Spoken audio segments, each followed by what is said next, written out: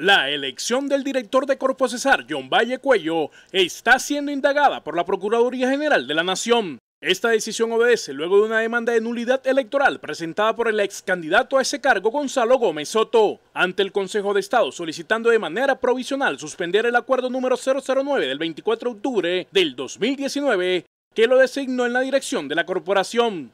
De acuerdo con el demandante, Valle Cuello presuntamente no cumpliría con los requisitos para ser el director de la entidad, debido a que supuestamente hay vacíos en el proceso de la escogencia. La elección de Valle Cuello se realizó en una sesión ordinaria en octubre del año anterior por el Consejo Directivo de la Corporación Autónoma Regional del Cesar mediante 11 votos, lo eligieron como director.